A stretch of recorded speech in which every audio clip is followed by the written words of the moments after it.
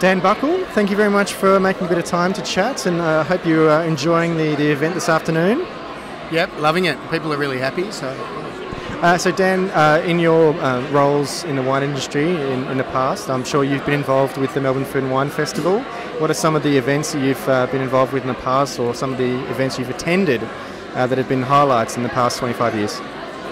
Well, this is certainly one of them, and I really like the idea of it. Um, I've been to many different types of tastings over the years, and I think Melbourne Food and Wine Festival is a, a really great thing that we host here. It gives producers, big and small, a real chance to show off their stuff. And for me personally, it's really great to see how engaged people are. Um, they come along to these events and tastings, and they're really curious and really loving it. So. So, as far as the Makers and Muses concept, um, and, and, you know, you've been involved with uh, different producers uh, here, I believe. Um, and, and and no doubt, you know, you've had contact with other producers.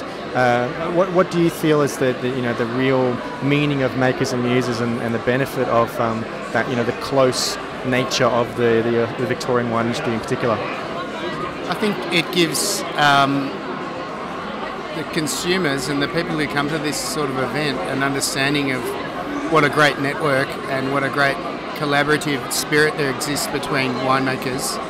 Um, uh, there are people here like Iain Riggs, who's been a mentor to me over the years. Um, I can sort of see the, the, different lines of connection between the wines and the makers and uh, the different places they've worked and their influences. So I think to, to bring that into the, the public mind is a really great thing because the depth of knowledge and experience and the different sets of ideas um, really highlighted in a tasting like this. So, um, how many vintages is this at Chandon um, for 2017? It's my sixth vintage at Chandon. How's the 2017 vintage been in compared to um, the, the, past six, six, six years or so? Cool, wonderfully cool, very high acidity. Um, it's been a long vintage, so we're all a bit tired and grumpy, but uh, overall, I think the quality is extraordinary. Um, the, the acidity and finesse in the wines we're making right now is really exciting. Um, reminds me of 2002.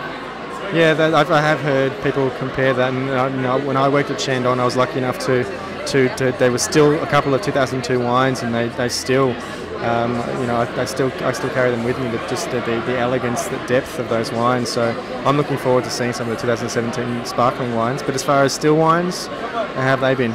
Um, we haven't seen a lot of Shiraz this year, but with the Pinots that I'm making, they're, they're looking pretty good.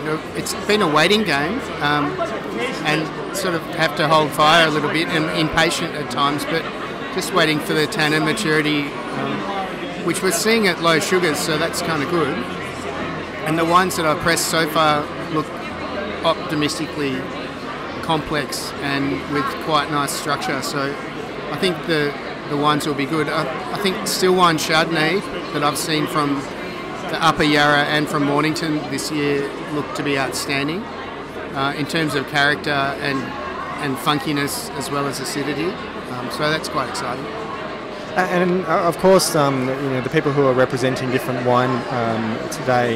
You know, there's a huge diversity uh, as far as you know the, the amount of time the wine producer's been around, uh, in terms of you know the, the, the age differential. Um, who are some of the people that you've uh, been looking forward to catching up with?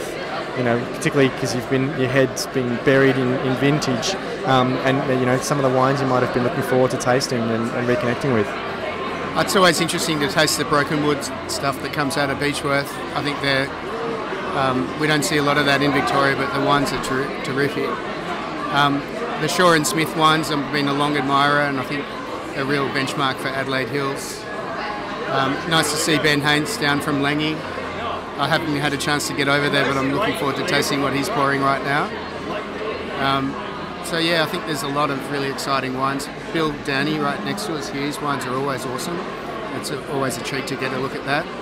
So I don't know that there's anything I wouldn't enjoy tasting. this Grenache from Yalumba here has been really exciting. They've got this uh, light and fruity style Grenache that I think it's just a wonderful drink. So. Fantastic. Well, I won't hold you up. You know, hopefully you get an opportunity to, to pop over and taste a few more wines. But uh, look, I really appreciate you making a bit of time, and I uh, hope you enjoy the rest of the afternoon. Cool. Thanks, Jan.